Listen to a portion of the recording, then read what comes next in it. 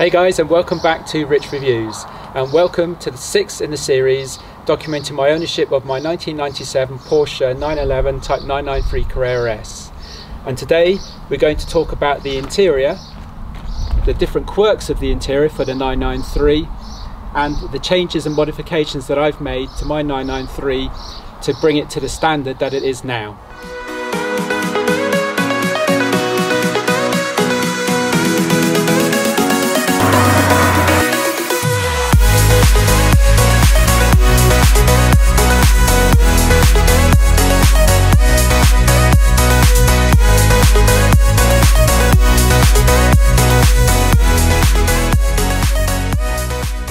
Okay, so first of all, to gain access to the 993 cabin, you have to use the remote control.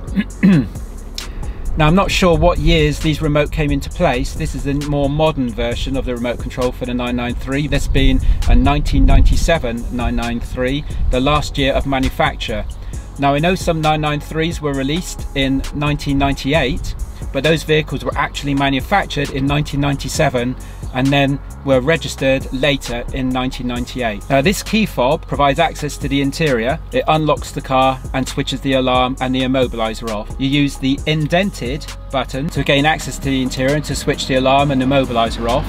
And you use the slightly raised button to lock the vehicle. We'll talk in more detail about the different operations you can perform in addition to locking and unlocking the car with the key fob a little bit later. So first of all, let's talk about some of the quirks of the interior. Now the 993 interior design and layout of controls has been well discussed with regards to it being very haphazard in how the controls are laid out. This is a well documented feature of the 993. It's been perceived now as a quaint quirk of the 993 but I'm sure at some stage it was very annoying for the drivers and for owners of the 993 911 you'll notice you've got some of the controls here. You've got the light controls here which is sort of out out of the reach of the driver. It sort of is in the reach but you've got to move substantially forward to gain access to it. And you've got the actual raising and lowering of the lights here. Now when we look at the gauges as with all Porsches Front and foremost, you have the rev counter. Now this is vitally important because obviously if you over rev the engine, you cause damage to the engine. And if you're driving fast, then you need to know the actual revolutions of the engine. On the right hand side, you've got the speedo, far right hand side you've got the quartz clock which is actually very accurate and here you've got the gauges which cover the oil you've got the oil pressure got oil temperature you've got the oil level now this is used when the car is flat with the engine running to assess whether or not the car needs topping up with oil and obviously the fuel gauge. Here you have the adjuster for the clock. A lot of people don't realise but you click that then it actually moves the hands round on the clock slowly to begin with and you keep your finger on that on the button and it moves faster and faster. So obviously that allows you to adjust the clock. Here you've got the time wipe on the wipers. Over here you've got obviously a reset on the trip counter and over here you've got the adjustment for the dial cluster backlights. Now, more in the quirks and design of the cabin. You've got the air conditioning system here and it's locked by the steering wheel so the driver cannot see the air conditioning controls. You have to feel it and just hope that you're getting the right button. Obviously, you know when you've been using the vehicle for quite some time and you've got used to the controls, then you'll know where the controls are and you'll have a good idea where to feel for them. But to begin with, it must have been an absolute nightmare using the controls within one of these cars when you first bought the vehicle. Over here, you have the various different lights, fog lights, heated rear window obviously if you've got a soft top then you won't have a heated rear window. Um, fog lights front and rear fog lights. And this is an interesting one here. You've got the cigarette lighter. Now why is it interesting? Now some of the Porsche aficionados require that the cigarette lighter has the smoke pointing up. And it can be quite a point of discussion if people see interiors of cars and the cigarette lighter has with the cigarette parallel or rather with the cigarette lighter horizontal. The requirement is with the Porsche aficionados that the smoke rises up. So you must have the cigarette lighter at a particular angle. One of the quirks of Porsche aficionados. So here you've got my short shift gear stick. I've talked about this in the previous video, which um, linked into the suspension and the actual upgrade to the short shift lever. This is the short shift lever that was imported from America. Obviously a different height actual gear lever. The Synaresque style actual gear knob and the actual underneath the golden rods which which provides the connection to the actual selection shafts which actually change the gears in the gearbox and without the actual as I've said before in the previous video without the rubber coupling please relate to the previous video for more detail about this this um, upgrade here you have different functional buttons for the car This one raises and lowers the rear spoiler manually, so you can actually raise it and lower it for cleaning the vehicle. Here you have the rear wiper. Here you have the sunroof. Here you have the hazard warning lights. Here you have the lock and unlock of the central lock-in internally. So if you're inside the vehicle and you want to lock the car, you just have to press that button and then to unlock, you press the top button. Now this button, it's got a big exclamation mark on there and when that's when that needs pressing, it's highlights is highlighted in red. Now what does that do? Well, when you have a warning come up on the cluster gauge or when the car warns you, you have a big red light come up on the gauge, on the cluster gauge. And we'll show you because it's illuminated. Here we go there. Now when you have an issue with the car, this warning light comes on. Now that issue could be low fuel, it could be low water in the, in the water reservoirs. When that warning comes on, you'll also get another warning light come on. Now first of all you get the small warning light and then you get the big warning light. The big warning light is to really tell the driver that something is wrong. And now you can clear that big warning light because obviously if you're driving, that is quite imposing. And you clear that big warning light by pressing this button.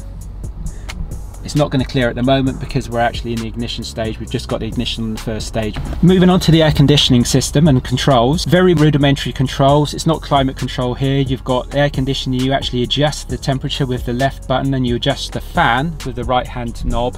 You adjust the, you adjust the temperature inside the cabin with the left hand knob and you adjust the fan speed with the right hand knob. You adjust where you would like the air conditioning to be delivered, below or high, using these controls and obviously this doesn't just cover the air conditioning it also governs the the temperature of the cabin. So the, the um, whether it's warm or cold. Now with regards to the heating and the air conditioning of the cabin it's quite hit and miss I say hit and miss because if you have a good car and you have a good air conditioning heating system, then it'll work. If you don't, then it won't and you're gonna have problems all the time. Very fortunate when I bought this car, it has a good heating system and it has good air conditioning. The air conditioning works as the usual way with a, a unit being driven off the main pulley from the crankshaft. The heater Obviously, it's not a water-cooled car, so the heater uses heat exchangers straight off the exhaust. So one of the benefits of using the heating system for a 993 and an air-cooled Porsche is that you get direct heat. So as soon as the car is started and the exhausts get warm, which is very quickly, you'll get heat. This is the standard steering wheel that's provided with this car. I believe it was an option to get the later 996 variant three spoke steering wheel. This one didn't have that upgrade and I'm quite pleased it didn't have the upgrade. This is more the classic 993 type steering wheel, design of steering wheel with the four spokes and the airbag in the center uh, with the horn in the center as well. The other version, the free, the free spoke version was an option for the later models of the 993 which I suspect it would have been an option for this car being a 1997 car. And also it was the steering wheel that was implemented and specifically designed for the 996 911 that came after the 993. Looking at the rest of the interior we have the stereo. This is an upgraded I believe it was a, a cassette system that was installed to begin with. So this is this was upgraded. It's an upgraded model the Becker Mexico CD I'm not sure of the model number. And obviously the usual handbrake etc now you'll note that I've upgraded some of the sections here. It doesn't come standard of aluminium. I've actually upgraded these parts, but I have the original parts so I can put the car back to standard. This is a bit of a, a discussion point with some of the some of the Porsche aficionados as well. Many people don't like it, many people do. I can always change it back if I need to. And also, as you will have noticed as well, on the heating and air conditioning controls, I've got some accents that I've put on top of the actual control knobs just to highlight the silver in association with the silver accents here for the handbrake. You'll also notice in this car, there's no cup holders. Porsche didn't provide cup holders in the 993. If you want a cup holder, you've got to install one. Moving on to the ergonomics of the driving position. Now the seat has some adjustment. You can adjust the rear squab of the seat up and down, the back part, and obviously you can adjust the back part of the seat forwards and aft. With regards to the main squab, you can also move that forwards and backwards. In this car, it's not electric, it's manual. With regards to the steering wheel, you've got a fixed steering wheel. So if that doesn't suit you, tough. There is no adjustment for the steering wheel fore and aft or up and down. Now, if we look at the pedals, this is a bit of a discussion point on the 993 because the pedal box, meaning that the pedals are hinged from the floor as opposed to the top, takes quite a bit of getting used to to some people, while others fall naturally in use. The pedals, as I say, are hinged from the bottom. This gives you uh, a new feel and, and different design in actual pedal usage and is actually preferable to most people. It is preferable to me.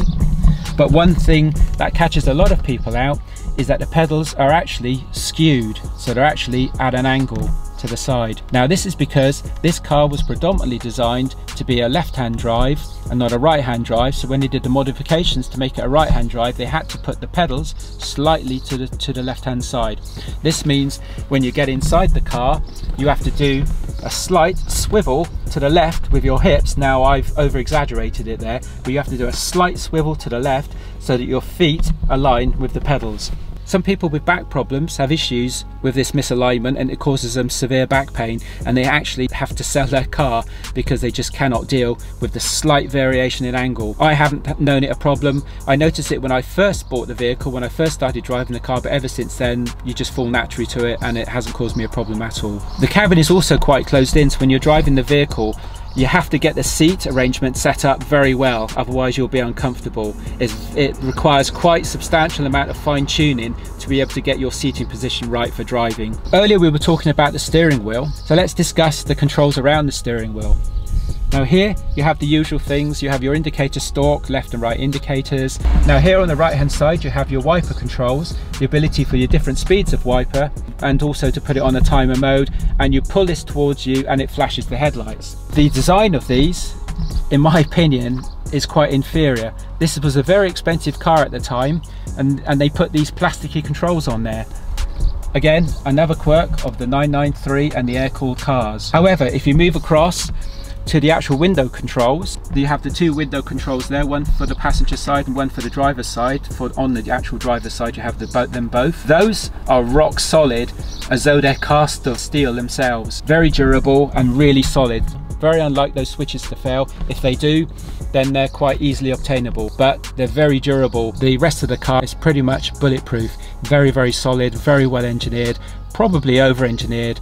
I believe it cost them a substantial amount of money to design and to build these cars. Without an obvious graphic, this is the button that opens up the petrol flap to enable you to put fuel in the car.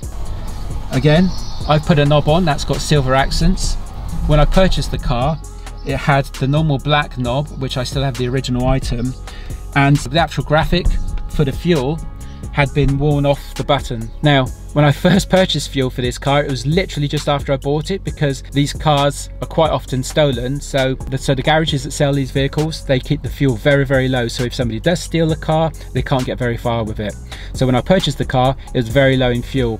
So I had to go circa a mile to the closest petrol station and get some fuel. I remember walking around the car wondering how am I going to put fuel in this car? I could not see how to open the fuel flap, but all I had to do was to come to the side and pull the button. Moving on to the aluminium accents that are provided within this car. These are provided because this is the Carrera S. These are standard only for the Carrera S model of the car. You can also purchase them as an additional item and you can purchase them now. Certain companies still provide, although I believe they're hard to get hold of, but you can still buy upgraded versions of these handbrakes with the aluminium accents and the gear lever as well had an aluminium accent by standard in the top, but obviously I've replaced that by installing the short shift kit.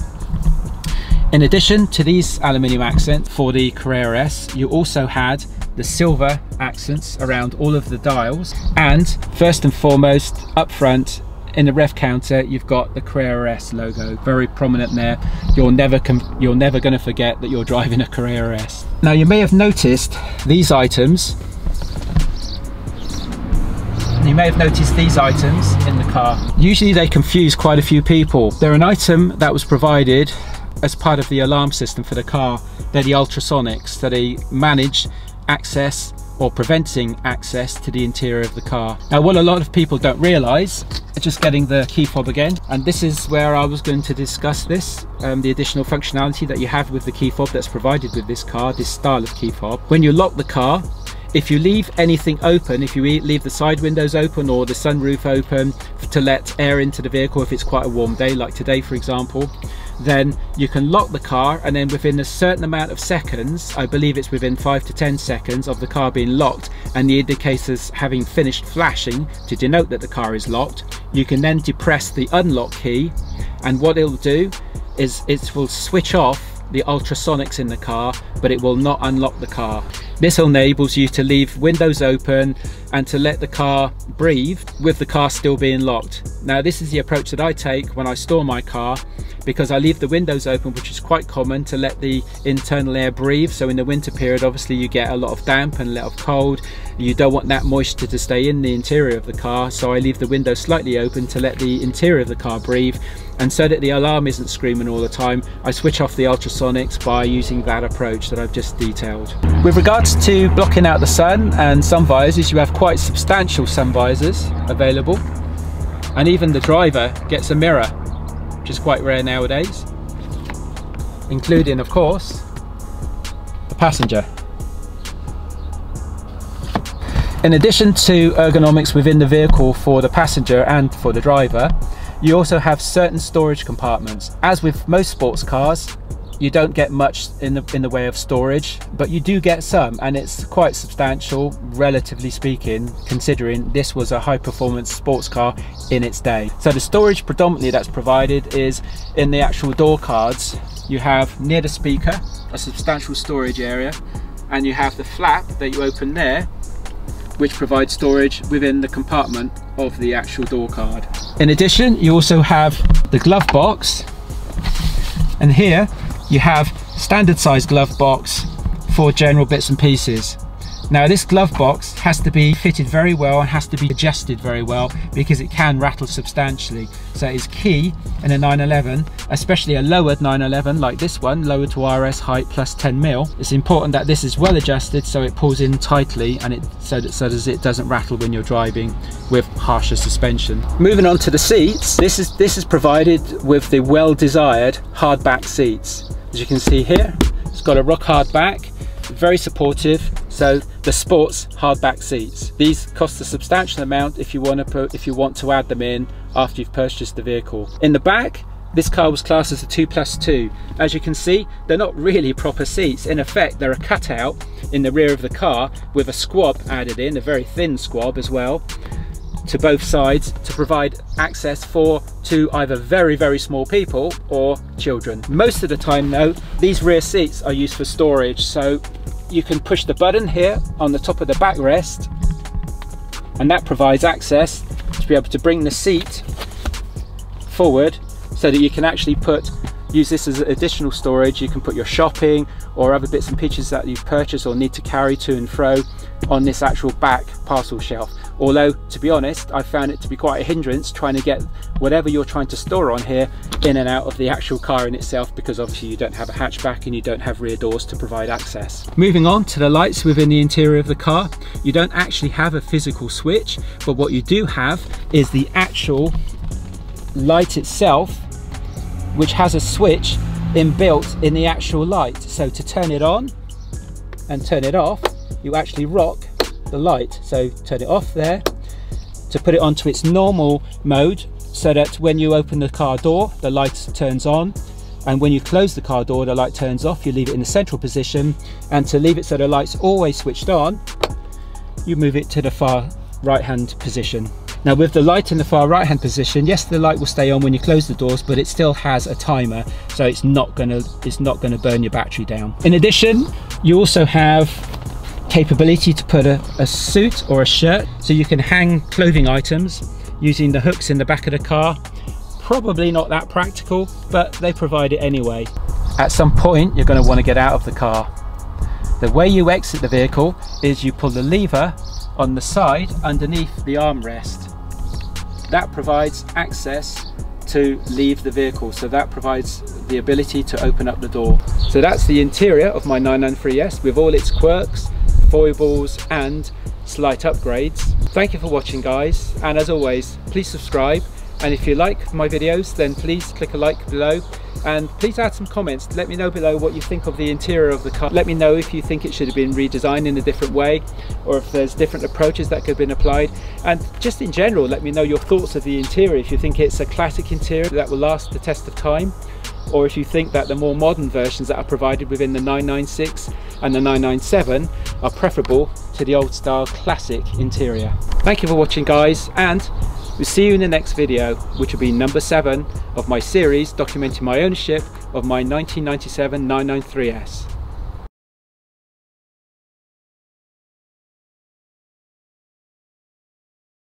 My son says I'm a gorilla.